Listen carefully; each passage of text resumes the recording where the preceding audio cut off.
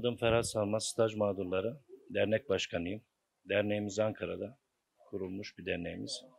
Bizler Meslek Lisesi ve Çıraklık Okulu'nda eğitim gören, Meslek Lisesi'ndeki staj yapan arkadaşların haklarını, davalarını savunan dernek olarak faaliyetimizi yürütmekteyiz. Dünkü görüşmelerimizde Ankara'da EYT platformunun çatısı altında staj mağdurları olarak da AK Parti Grup Başkan Vekili Muhammed Emin Akbaşoğlu ile görüşmemiz oldu. Öncesinde Hakis Sendikası ile görüşmelerimiz mevcuttu. Ve takibinde Grup Başkan Vekili Milliyetçi Hareket Partisi Erkan Akça ile görüşmemiz oldu. Bizler burada daha önce 6 ay, ön- 6 ay gibi bir öncesinde dosyamızı sunduğumuzda dosyamızın akıbeti hakkında, çalışmalar hakkında bilgi aldık. Bizler burada staj mağdurların durumu, EYT dosyasının içinde var olup olmadığı, bununla ilgili çalışmanın mevcut olup olmadığını öğrenmek için e, bu sorularımızı sorduk. Bak e, grup başkan vekillerimizden olumlu cevap aldık.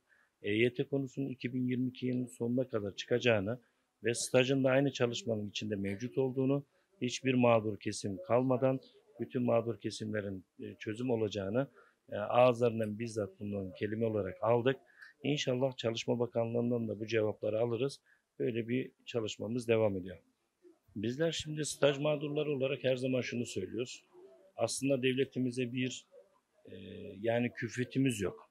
Staj mağdurları meslek lisesi ve çıraklık okulunda okuyan öğrenci arkadaşlarımızın o dönemde genel sağlık sigortası ve işsizlik sigortası yaptığı için buradaki prim eksikliği kısa vadeli yattığından biz bu, biz burada tüm sigorta kollarına çevrilmesine, tüm sigorta kollarına çevirirken de %32 orandaki primi bizlere de tanınmasını istiyoruz. Bunun en basit örnekleri 5500 say- 5510 sayılı kanun 41. maddesinde borçlanma yöntemlerinde mevcuttur.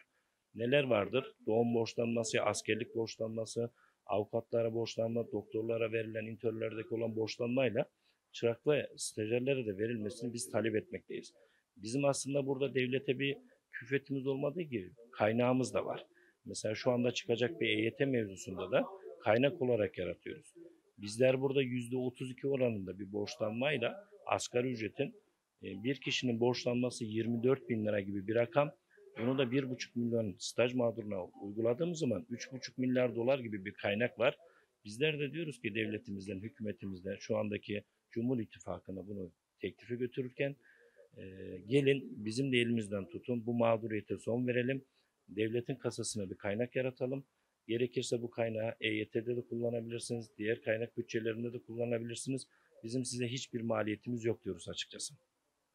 Derneğimizin hedefi bizler de Türkiye Cumhuriyeti vatandaşı olarak beklentimiz avukatlara, doktorlara verilen bütün borçlanma yöntemleri, askerlik, doğum borçlanması gibi verilen bütün hakların staj ve çıraklara da verilmesini istiyoruz. Mesleki yüksek okulunda okuyan, üniversitelerde okuyan stajyer arkadaşlara da verilmesini istiyoruz. Amacımız bu. Yani biz üvey evlat muamelesi görmektense meslek lisesi memleket meselesi diyoruz. Bunun için bizlerin de yani bu çalışmalarımıza kulak vermelerini özellikle baskı yaparak vurguluyoruz açıkçası.